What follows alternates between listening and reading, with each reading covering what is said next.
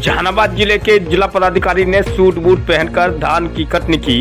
इस कटनी को देखकर ग्रामीण बेहद ही खुश दिखे, क्योंकि जिला पदाधिकारी ने किसानों के फ़सल के बेहतर कामना के साथ अपने हाथ से धान की कटनी कर, धान के फ़सल की मुआयना की। जिला पदाधिकारी रिची पांडे गुरुवार को घोसी थाना क्षेत्र के मीरा विभागों में धान के क्रॉप कटिंग करने के लिए खेत में पहुँचे। उनके साथ कई राकी प्रखंड कृषि पदाधिकारी वीरेंद्र सिंह भी मौजूद रहे। डीएम ने अपने हाथ से धान काटकर क्रॉप कटिंग का शुभारंभ किया। डीएम ने कहा कि उन्होंने किसानों से कहा कि आज किसानों को नई तकनीकी से खेती करने की आवश्यकता है। नई तकनीकी से अगर किसान खेती करेंगे तो कम लागत में अधिक मुनाफा हो सकता है। उन्होंने किसानों से अपील किया कि कोई भी किसान बिचौलिया माध्यम से धान बेचने का काम नहीं करेंगे। इसलिए सभी पंचायतों में पैक्स में धान की खरीदारी शुरू कर दी गई है। इसलिए सभी किसान पैक्स में ही धान दे और उचित दाम प्राप्त करे। कृषि विभाग के उपस्थित पदाधिकारियों से डीएम ने सरकार द्वारा किसानों के लिए चलाए जा रहे योजना की जानकारी लिया और किसानों से पूछा कि क्या सरकारी अनुदान राशि से बीज उपलब्ध हो रहा है कि नहीं। इस पर किसानों ने कहा कि सरकार द्वारा ऑनलाइन कर अनुदानित दर पर बीज उपलब्ध कराया जा रहा है। धान कट, कटने के बाद रबी का फ़सल लगाया जाएगा। आज लोगों को काम, कम खाद पर अधिक उपज करने की आवश्यकता है। डीएम ने कहा कि कैसे अधिक उपज हो, इस पर किसानों को ध्यान देना चाहिए। उन्होंने किसानों से कहा कि किसी भी हाल में कोई अपने खेत में पराली जलाने का काम नहीं करेंगे। अगर ऐसा करते हुए कोई पकड़े गए तो उन पर कड़ी से कड़ी कार्रवाई की जाएगी।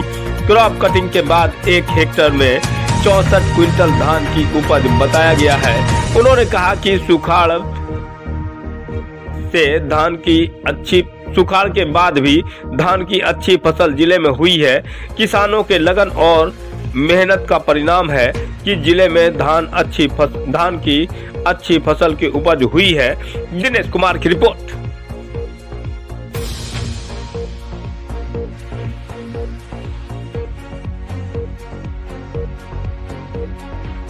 कटिंग किया गया। जी। जैसा कि राज्य सरकार से निर्देश प्राप्त है तो जो रैंडमली सेलेक्टेड एक प्लॉट की हम लोग को जिला पदाधिकारी की तरफ़ से यहाँ पे क्रॉप कटिंग एक्सपेरिमेंट किया जाता है तो उसके संदर्भ में आज हम लोगों ने किया।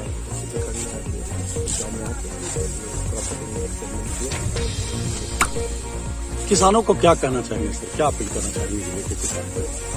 किसानों को हम यही कहेंगे कि जितनी भी जो नई तकनीकें हैं और वैज्ञानिक वैज्ञानिकों के द्वारा जो नए सुझाव दिए जा रहे हैं, चाहे हमारा बायो फर्टिलाइज़र का प्रयोग हो नैनो मीडिया का प्रयोग हो, और कैसे हम लोग जो हमारे जो ट्रेडिशनल फर्टिलाइज़र है जिसकी खपत उसमें बढ़ती जा रही है, उसको हम लोग कैसे हम नियमित रूप से उसका अनुश्रवण करें कि उसका मतलब जितना आवश्यकता अनुसार ही उपयोग किया जाए, साथ ही साथ जो पानी का भी उपयोग किया जाता है तो उसमें हम लोग कैसे पानी के दुरुपयोग से बचें और कैसे नई तकनीकों का, चाहे वो हमारे ड्रिप एंड स्प्रिंकलर इरीगेशन हो इन सब नई तकनीकों का प्रयोग करें।